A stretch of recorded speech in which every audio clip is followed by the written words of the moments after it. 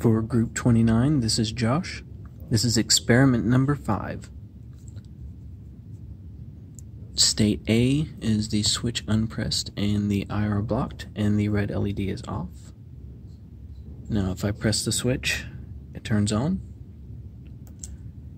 If I allow the IR through, it turns on, and if I press the switch while that's connected, it turns off.